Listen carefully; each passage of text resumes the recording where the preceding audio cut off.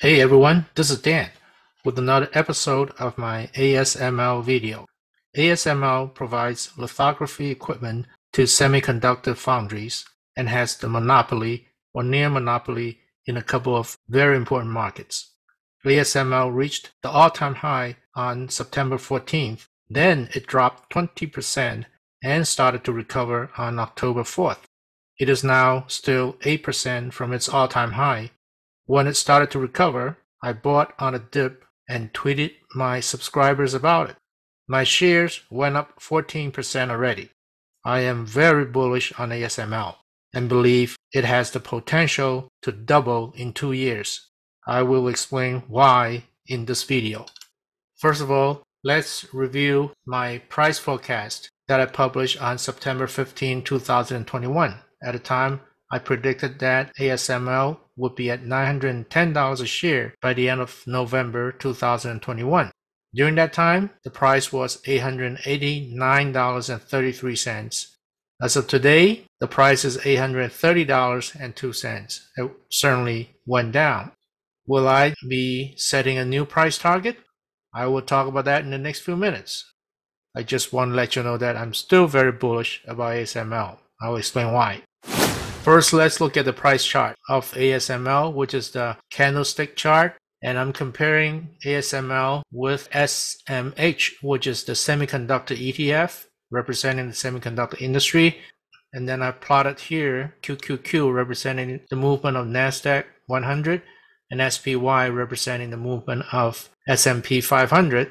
This is a daily chart for one year as we can see, ASML went up a very impressive 121%, whereas the semiconductor industry, represented by SMH, went up by 56%.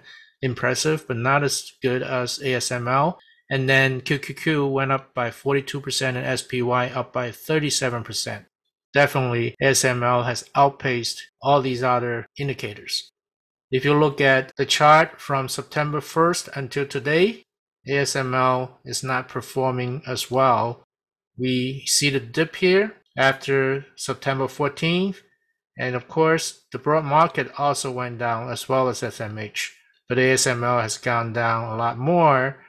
And since October 5th, ASML has recovered, but it has not nearly recovered as much as the broad market or SMH. One of the reasons is because of this red candle here, which is October 20th. That's when ASML announced their quarterly earnings. I will talk about that in the next few minutes.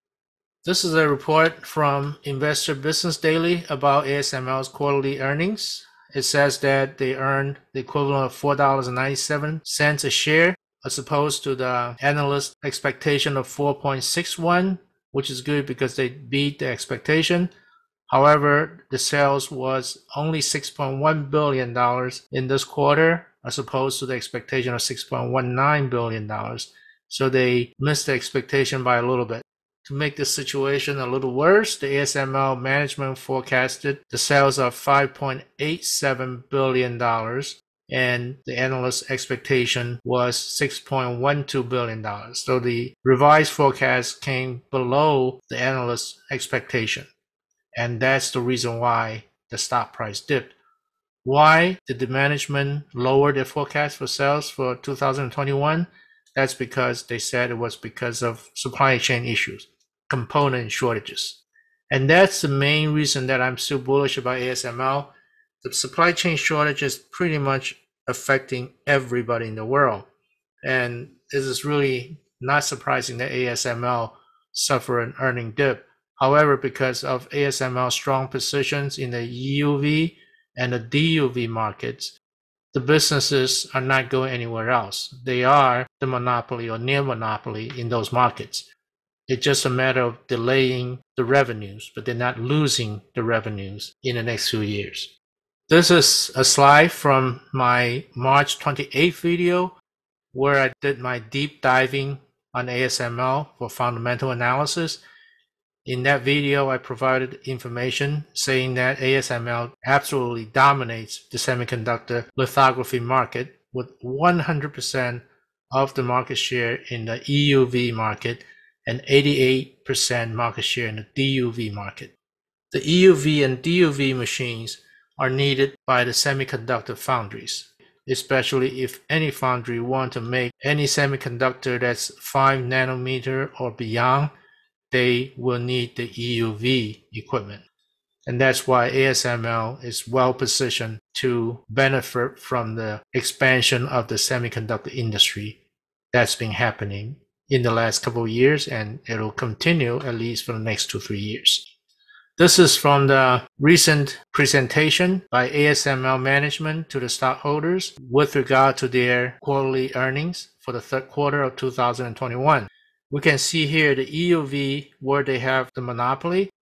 The EUV equipment occupies 54% of their revenues, and these slices are the DUV related equipment, and that occupies 43% of their revenues looks like their main customers are either in Taiwan or South Korea, and some customers in China, Japan, and the US. If you look at the world fab plan investments in the next few years, Intel announced that they would invest $20 billion in the US and probably up to $95 billion in Europe in the next few years. And then Taiwan Semiconductor announced recently that they will invest $100 billion for foundries in the next three years in Taiwan US, or in Japan. And then Samsung announced that they would invest $300 billion through 2030, mostly in Korea and in the US. With all these investment activities, ASML would definitely benefit from providing equipment to these fab plants. If you like what you've seen so far, I'd like to encourage you to click the like, subscribe, and notification button. This will enable you to receive notification when I publish my next video. It will also encourage me to publish more videos like this in the future. Thank you very much. Let's continue. We have a lot to cover. Let's look at some of the financial figures represented with these charts. These are from the Better Investing website, Stock Selection Guide database. If you look at ASML sales, ever since 2012, 2013, the sales has been going up very steadily along this straight line with a very steep slope going upward. EPS has been very impressive also. Their EPS growth has been 23% since 2012. And if you look at more recently, it's been 30% growth since 2016. And they have been aggressively buying back stock which is another very bullish sign for the investors. The management forecasted that for 2021, the sales growth will be 35%. That's definitely a very positive number. Return on equity in the last six, seven years has been going up steadily. Debt to equity ratio, even though it's been going up a little bit in the last few quarters, but it's still under control because it's only 27% the company definitely is very rich in cash, and that's why they're being aggressively buying back stock. Let's look at the valuation of the company. First of all, I looked at the trailing P ratio, forward P ratios, and PEG ratios of the major semiconductor companies. ASML is here. They have a trailing P of 53, forward P of 41, and PEG ratio of 1.69. The P is a little bit on the high side compared to the other companies, but not as high as NVIDIA, for example, or NXP. The PEG ratio 1.69 again is on the high side, but not the highest one.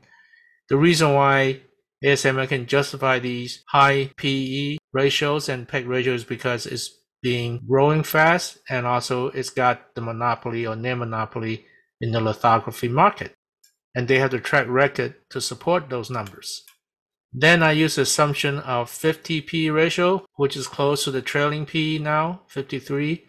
And then annual earning growth of 29.8%, which is a figure from Yahoo Finance. And their past five year growth was 17.9, but the trailing 12 month for this year is 28. If you look at the EPS growth that we discussed a couple of minutes ago, since 2016, it's been 30%. Therefore, 29.8% PE growth is reasonable for the next few years, especially considering the worldwide semiconductor shortage and the aggressive investment plans Samsung, Taiwan Semiconductor, and Intel have put in place. There will be a lot of investment activities. That means there will be a lot of sales generated from those activities for ASML. And from the recent management forecast of $5.87 billion of sales for the fourth quarter, and I looked at their historical net margin and came to the conclusion of approximately $6.7 billion of earnings for 2021. And then using the trailing 12 month figures, I calculated their estimated stock values for 2021 through 2025. And they range from $760 a share to $2,156 a share.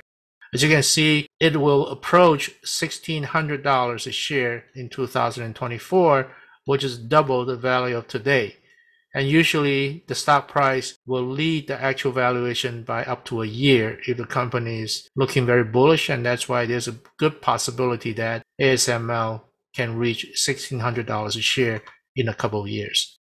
But for now, for the next few months, I have set the target of still $910 a share, the same target I had back in September except I have stretched the time horizon to the end of February 2022 in light of the stock market reaction to ASML in the last couple of months, although it's recovering. So I'm very optimistic about the stock price reaching this particular target. Let's look at the other analysts' opinions. As of today, the closing price went from the September 15 value of 889 to 830. My target is still $910 a share, except rather than expecting that price to be reached by the end of November, I expect the price to be reached by the end of February next year. Yahoo Business maintains their 1.9 out of 5 buy rating, same high target. The average target went down a little bit from 861 to 843. Same low target of 720. Louis Navellier maintained his buy rating, although the overall rating got downgraded a little bit from A to B, still a pretty good rating. Quantitative rating downgraded from A to B, and fundamental rating downgraded from B to C. TipRanks.com maintained its moderate buy rating. High target went down a little bit from 998 to 979.